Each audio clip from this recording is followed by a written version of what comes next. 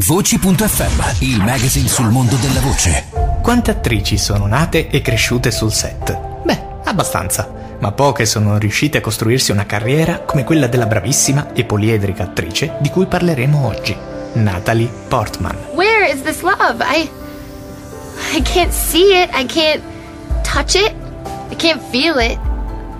I can hear it. I can hear some words, but I can't do anything with your easy words. Classe 1981, Natalie Herschlag, nata a Gerusalemme, nel 1994, a soli 13 anni, diventa protagonista assieme a Jean Reno del film cult Léon, diretto da Luc Besson. Inizia una carriera che la porterà a recitare assieme a grandi attori come Robert De Niro e Al Pacino in Hit La sfida, diretta da Woody Allen in Tutti dicono I love you e diretta da Tim Burton accanto a Jack Nicholson e Pierce Brosnan in Mars Attacks ma è nel 1999 che ottiene grande popolarità interpretando la regina Padme, madre dei futuri Luke e Leia Skywalker, nella trilogia prequel di Star Wars. Dagli anni 2000 in poi ha modo di mostrare la sua bravura uscendo dallo stereotipo di brava ragazza, interpretando ruoli diversi tra loro. La conturbante Alice in Closer, Evie Hammond nel cinefumetto V for Vendetta, la ballerina Nina Sayers in Il cigno nero di Darren Aronofsky,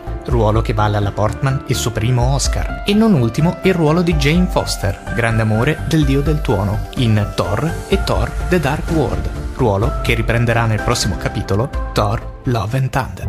Parecchie grandi voci italiane si sono alternate sul viso e le labbra dell'attrice israeliana. Ilaria Stagni in Closer, L'ultimo inquisitore, e Mr. Magorium e la bottega delle meraviglie. C'è un branco di estranei tristi fotografati da Dio e tutti i fighetti stronzi che si dichiarano amanti dell'arte.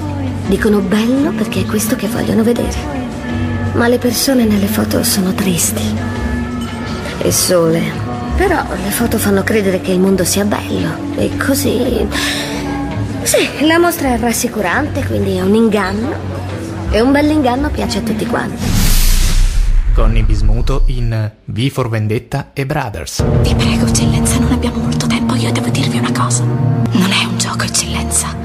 Per arrivare una persona e credo che voglia uccidervi. Ve lo dico perché voglio una sorta di protezione o di amnestia. Io non c'entravo niente con il Bailey, ho commesso un errore terribile alla Jordan Tower, ma credo di aver pareggiato i conti. Barbara De Portoli in Un bacio romantico. Eh sì, hai un bel gioco. Sai che ti dico? Tu ora ti prendi 600 e io i 1000 e poi scommettiamo sul resto. Non ti sembra abbastanza? Miriam Catania in La mia adorabile nemica. Mia madre voleva assolutamente andarsene da Bay City. Credo che abbia sposato il mio patrigno Ted perché lui era così pulito e per bene. Le mancava il mio vero padre, che era egiziano, bruno e romantico. Ma sono due le voci principali che hanno accompagnato Natalie Portman sin dall'inizio della sua carriera. Valentina Mari, che comincia a doppiare la Portman nel suo primo film Leon, fino a seguirla in altri film come Tutti dicono I Love You, Mars Attacks, Ritorno a Cool Mountain e per ultimi i film Thor e Thor The Dark World, e Federica De Bortoli, che partendo da Hit la sfida, doppia l'attrice in tanti film come la trilogia di Star Wars, Il Cigno Nero, Jackie e moltissimi altri. Valentina Mari. Leo, esattamente che lavoro fai per vivere? Le pulizie. Vuoi dire che sei un sicario? Sì. Forte. E se cogliete pietà. Siete una strega. No, mio signore. Una maledetta, diabolica strega. Perché? L'ho perso subito. Nostro figlio. Non ho colpa di questo. No. Dite allora, che cos'altro mi ha fatto? Guardie! Mio signore. Si può sapere dov'è? Dov'eri tu? Ero proprio qui dove mi avevi lasciata. Prima ti ho aspettato, poi dopo ho pianto, poi sono andata in giro a cercarti. Avevi detto che saresti tornata. Federica De Bortoli. Ciao. La mamma si è dimenticata di passare a prenderti. No, mi andava di stare da sola. E va bene. Avevo 12 anni. Si chiamava Palo, era con me nel programma legislativo giovanile. Aveva qualche anno più di me. Molto carino. Capelli ricci scuri, occhi sognanti. Va bene, sì, ho capito. E poi che fine ha fatto? Io ho intrapreso la carriera politica e lui si è dedicato all'arte. Ha fatto la cosa più intelligente. Non ti piacciono proprio i politici, eh? La gente ama le favole. Sei pronta? Certo. Io credo che i personaggi di cui leggiamo finiscano per diventare più reali dell'uomo che ci sta accanto. Allora ho urlato, Jack. Jack, riesci a sentirmi? Jack, ti amo, Jack.